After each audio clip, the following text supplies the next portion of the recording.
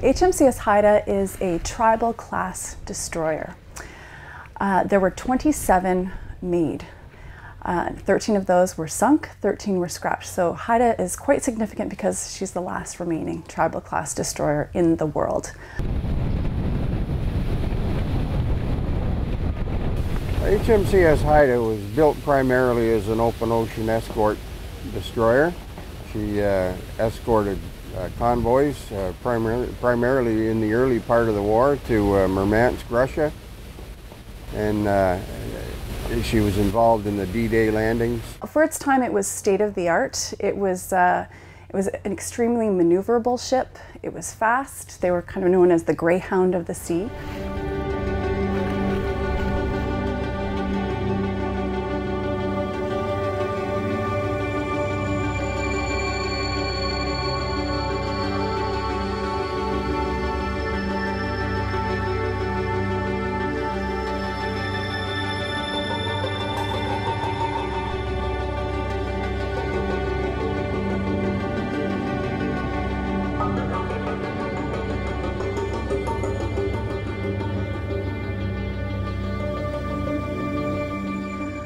Athabaskan was struck by a torpedo and there was a subsequent explosion and she went down very quickly. Uh, a lot of the men would have been um, uh, thrown into the water, uh, some very badly injured as well. Uh, so these guys would have, um, would have just been treading water, trying to hold on to debris. Um, the water would have been terribly cold because it was, it was only April. Haida chased off T-24 and T-27 and uh, they came back to the spot where Athabaskan was last spotted in the water. And at this point, it was nearing the end of their patrol. It was very close to daybreak, so they were in a very vulnerable position at this point. Uh, they, there was a risk of an airstrike, German airstrike. There was a risk of those uh, Elbing-class destroyers coming back and they didn't know if they would bring other ships or torpedo boats with them.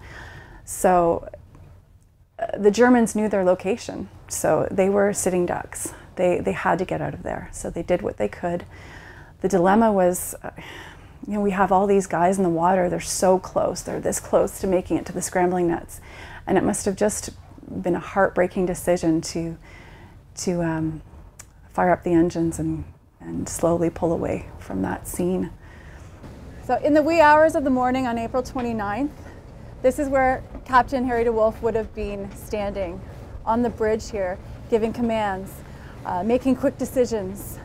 Now, he instructed the crew to lower all of the life-saving devices into the water. That meant the Carley floats, which were made of cork, uh, which the crew in the water could hold onto, um, flotation devices, as well as two motor cutters and a whaler. Now, in addition, uh, he was uh, directing the crew to lower the scrambling nets and pull as many crew members of the Athabaskan onto the ship. Uh, they were covered in bunker C oil. It was a, a, very difficult rescue. So he would have been pacing on this bridge, um, and he knew that at some point he had to leave. Uh, he didn't want to risk the lives of his own crew. Um, Captain John Stubbs, they could hear him in the water uh, trying to keep the morale up of his, his men in the water, getting them to swim towards Haida. The Haida crew members were working tirelessly to pull these guys on board, all slick with oil. A couple of Haida crew members even fell into the water in the process. Now, in the end, uh, Captain Harry DeWolf was supposed to stay for 15 minutes, but ended up staying quite a bit longer, about seven minutes longer. Um, so that made all the difference to, to quite a few lives. So it would have been a heartbreaking decision for him. But uh, in the end, he did the right thing. Captain John Stubbs from the water um, yelled for Haida to leave, that it was time to go for their safety. 128 lives were lost that night. So that's roughly half of your crew. Um, 85 were picked up by the Germans and became prisoners of war. Haida picked up 42 on the scrambling nets, and then the motor cutter picked up an extra six. So for a total of 48. She is emblematic of of the Royal Canadian Navy and the role, that, that sort of naval experience we had during World War II and beyond. She was also a very lucky ship and called the fightingest ship in the in the Canadian Royal Canadian Navy. Uh, she sank the most ships of any any ship. Um, I think for those reasons, she's very special, and she's the last remaining in the world.